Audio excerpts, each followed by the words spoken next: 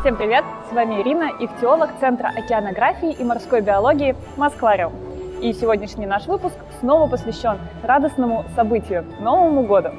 Как всем известно, приближающийся новый 2021 год по китайскому календарю – это год быка.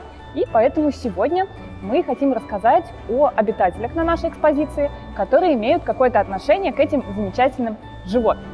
Итак, первый обитатель, наверное, самый милый из всех наших а, пластиножаберных – это скат бочерыл.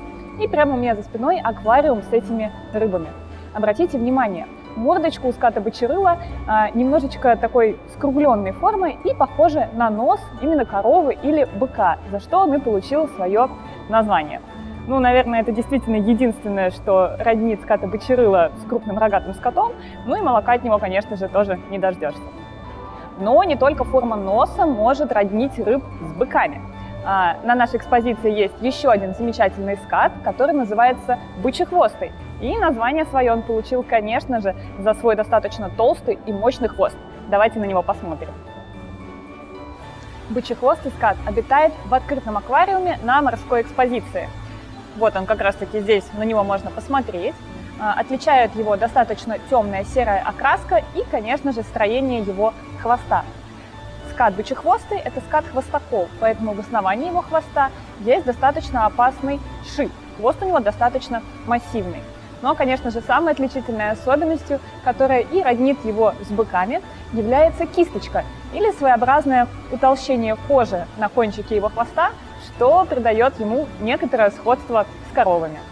Также в этом аквариуме обитают наши японские бычьи акулы, новички на нашей экспозиции. Мы совсем недавно высадили сюда пару этих замечательных животных, и для тех, кто не может найти их на экспозиции, маленькая подсказка. Обычно они обитают именно вот в этом углу аквариума. Поэтому приходите и наслаждайтесь нашими замечательными обитателями. Сейчас мы познакомились с крупными обитателями, которые получили название из-за сходства с быками – Теперь давайте познакомимся с рыбками поменьше, которые тоже очень похожи на крупный рогатый скот.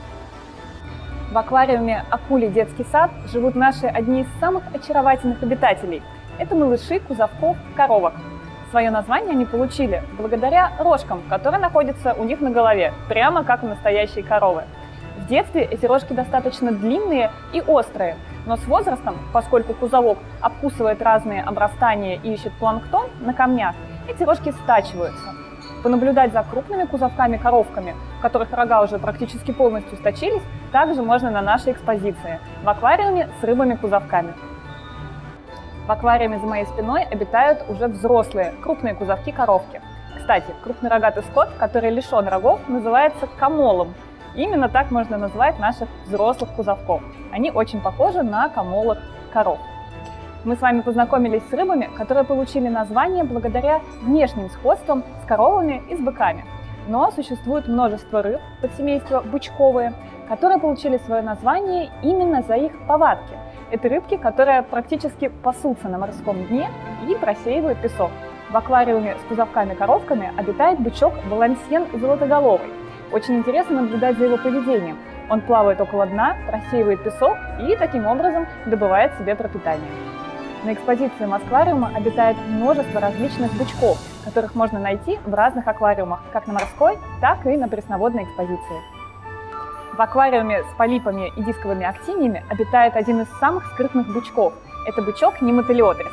Обычно он проводит много времени в своей норе среди камней и выходит крайне редко.